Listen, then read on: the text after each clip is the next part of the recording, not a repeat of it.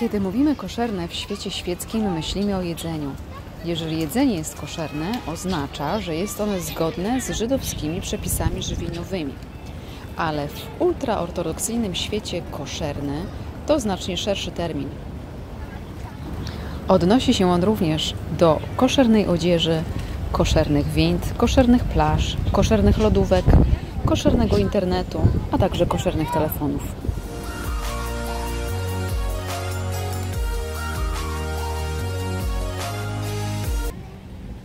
Witam Was, kochani, bardzo gorąco i dzisiaj właśnie zabiorę Was do ultraortodoksyjnego miasta Bnei Brak, aby pokazać Wam, jak wygląda koszerny telefon oraz internet. Otóż domy ortodoksyjne nie mają komputerów. Jeżeli pracujesz na przykład w branży komputerowej, możesz poprosić swojego rebę o pozwolenie na posiadanie internetu w domu. No właśnie, kim jest Rebe? Rebe jest duchownym przywódcą swojej społeczności. Jego ludzie przychodzą do niego, aby zadawać pytania dotyczące życia codziennego.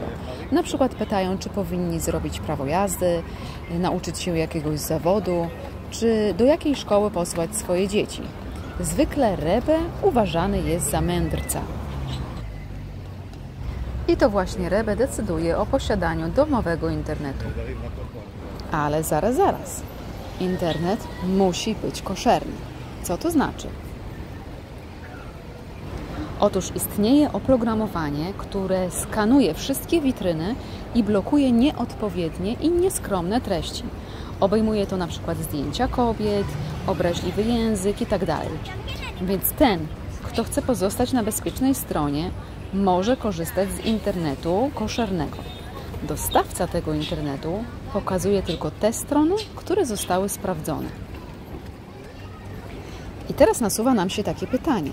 No właśnie, a kto sprawdza takie strony? Otóż nikt inny jak osoby, które opuściły ultraortodoksyjną społeczność. Z jednej strony nie ma problemu, że zobaczą nieodpowiednie treści, ponieważ nie są już ortodoksyjni, a z drugiej strony pochodzą ze świata ultraortodoksyjnego, więc wiedzą, czego nie wolno.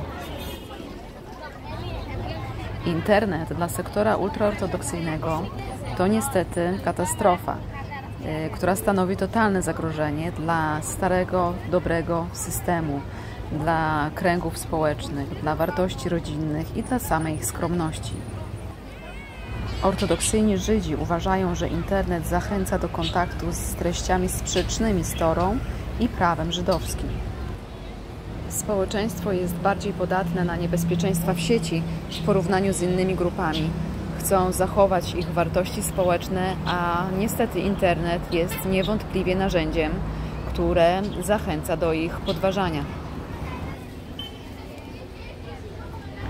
I właśnie teraz zabiorę Was do sklepu, aby pokazać Wam, jak wygląda telefon oraz internet koszerny i przekonać się, czy faktycznie nie można serwować po zakazanych stronach internetowych. A tu akurat przed nami dziewczynki wracające z żeńskiej szkoły.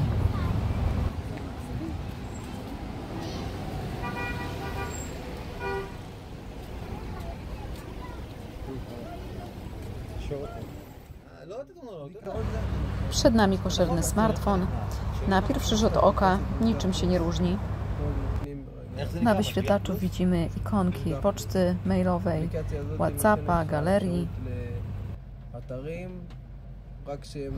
Telefon koszerny nie ma możliwości zainstalowania YouTube'a na przykład, bądź Facebooka czy Instagrama. Teraz wejdziemy do sklepu Play i postaramy się ściągnąć aplikację izraelskiego portalu informacyjnego Reshet 13. Jak widzimy, aplikacja istnieje w sklepie Play w smartfonie koszernym. No i zaraz zobaczymy, czy uda nam się ją zainstalować. No i niestety aplikacja została odrzucona przez oprogramowanie. גם גוגל, גוגל יש פה, בעיקרון הוא הותקן. לפני ששמתי את החסימה הוא הותקן, זה טלפון לא כשר. Teraz sprawdzimy, czy uda nam się ściągnąć aplikację Google. יש,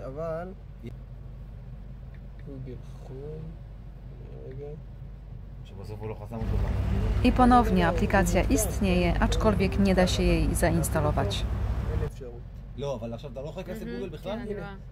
Nie znajdziemy nawet ikonki Google na wyświetlaczu telefonu. W skrócie, dostęp do różnego rodzaju aplikacji jest bardzo ograniczony. Wcześniej e, tego typu aplikacje muszą być zatwierdzone przez rabinów. Nie ma dostępu do Facebooka ani Instagrama. Tego na pewno nie znajdziecie w koszernym smartfonie.